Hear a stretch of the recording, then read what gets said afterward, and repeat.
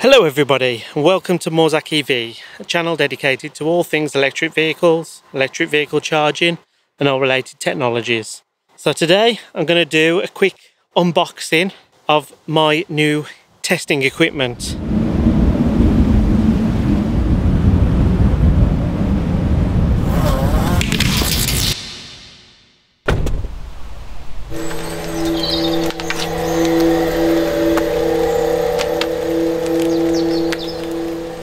So for those of you who've seen our previous videos, you might have noticed that I have a Megger um, multifunction tester, which I'm really happy with, to be honest. Um, it's, it's simple to use, um, feels pretty hardy. I've never had an issue with it. It's gone through calibration a number of times now, um, and it's always been good. So yeah, I've got that, and uh, then I have a Metrel EVSE adapter. I used to have a Rolec one, um, had tons of problems with that and ended up returning it. Um, and then I ended up buying the Metrel one, which I was much, much happier with, to be honest. Um, and it's about uh, 20 times smaller than the Rolec one. So, yeah. But uh, I was at a trade show recently and I saw this setup and got to have a go on it. Um, it was an open air trade show on a local um, electrical distributors car park. Um, so I thought I'm going to give this a go. Um, so one of the reasons for buying both is not just to buy something, um, because we've got somebody else starting with us. At some point, we're going to need more than one uh, setup for EV testing. So, so this means that we have a bit of um, backup in case we have a problem with one of our testers or something breaks or we drop something or when we put it in for calibration at the moment, I have to get a real quick turnaround on calibration. So this gives us um, sort of, we're duplicating our equipment. So um, we've got redundancy. But then, you know, when there's two of us working on different jobs as well, we can also um, do our testing independently.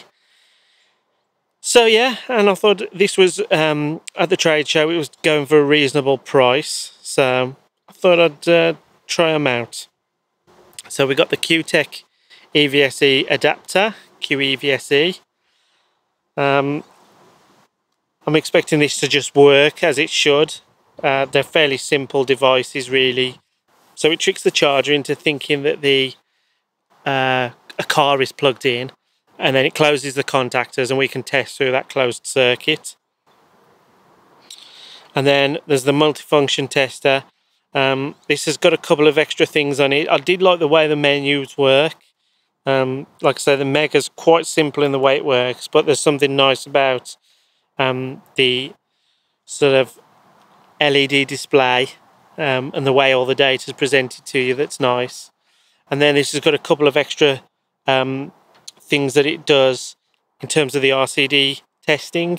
So you can do your DC current detection so you can test type B RCDs on the DC side and not just the AC side. So, um, yeah, this gives us a little bit more scope. We can test for more things and we kind of future-proofed a little bit more should the regs change um, and become more stringent on exactly what testing needs to be done. So there you go. Let's unbox them.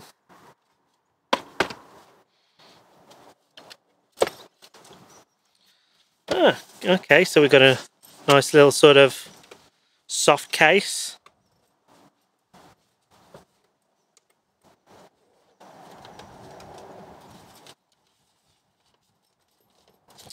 Apologies, I'm trying to do this one-handed. I'm hoping I don't break the zip.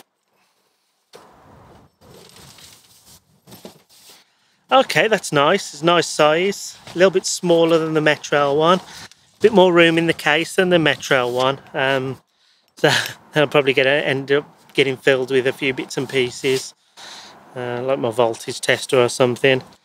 Um, so on this end, obviously we've got the Type 2 plug, which should look familiar to anybody with an EV. And then on the business end, very, very similar. So um, we can do uh,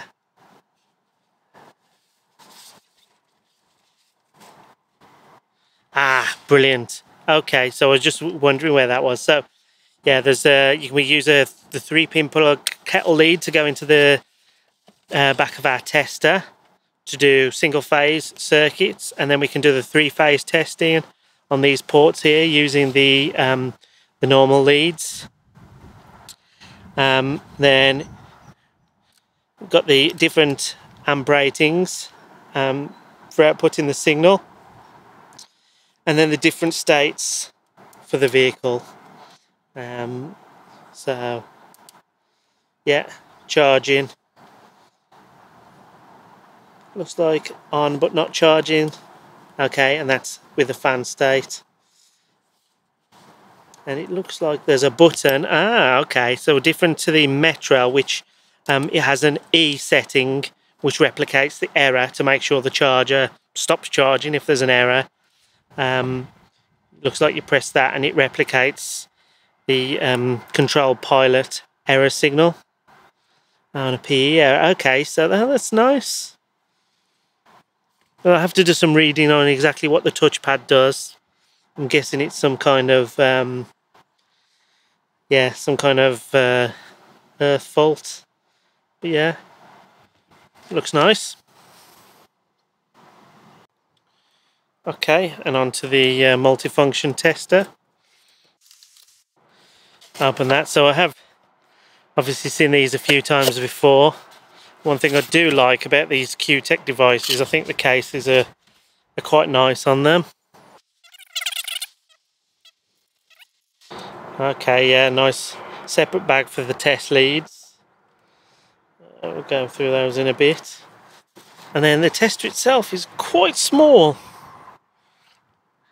I guess it's fatter than the uh, the Megger, but smaller. I like the idea of the lid to protect the face because if that ends up loose um, in the vehicle, means the LED display is completely uh, protected. That's a nice feature.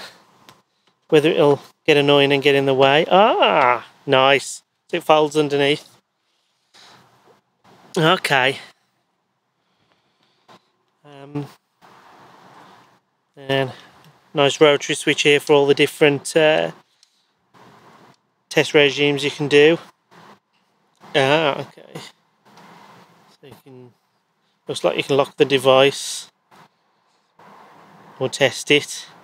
So I suppose that's useful if you've got it hooked up and you want to do an insulation resistance test but uh, don't want to accidentally trigger it or maybe to leave it running so you can go and Again, I need to do some reading and find out. So today, we're going to introduce you to an activity ironically named Follow the Instructions.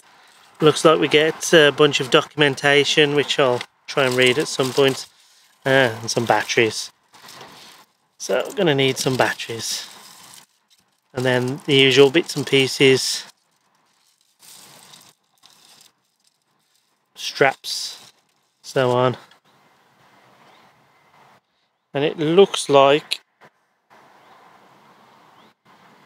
optical adapter so yeah it's one of the things we pride ourselves on is keeping up to date with the latest technology. Um, you know keeps us ahead of the competition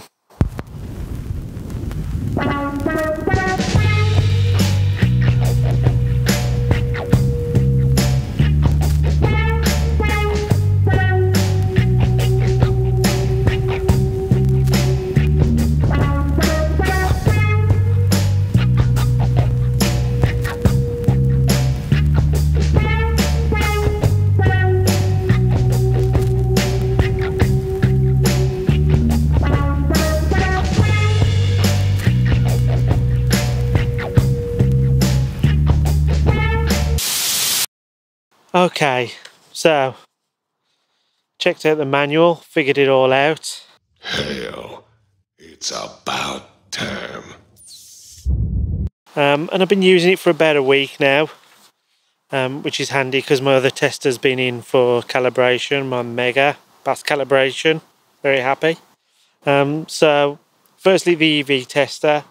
Very pleased with that. Um, works great still getting used to a couple of things, but it's got this nice uh, PE pre-test on. So you put your thumb on the pad and it gives you an indication of if uh, there's any unsafe voltages on the earth. So the idea being um, you, you use that to determine that there's everything safe before you touch anything metallic and start doing all your testing on the uh, with the with the EVSE tester itself and the testing unit. So that's a really nice feature. Um, it's just an extra safety measure to make sure you're safe before you start doing any of your testing. So I like that. I like the tester. It's great. So now coming to the Kewtech. Um, yeah, I'm pleased with it.